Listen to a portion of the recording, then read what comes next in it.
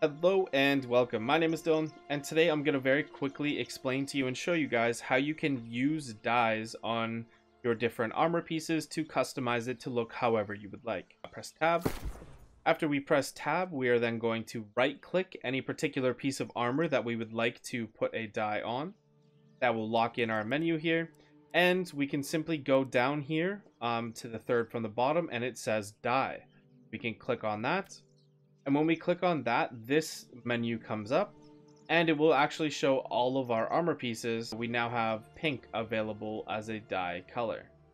So we can put pink on our helmets, we can put pink on our, uh, uh, we can put pink there, we can use pink as the accent, we could do a pink tint, so that uh, actually makes more of the armor pink, and then we can do a pink uh, secondary as well, and that will change other aspects of the armor. I hope this video helped. If it did, consider checking out the playlist linked on screen now or in the description down below. Thank you guys so much for watching. Have a great day, everybody.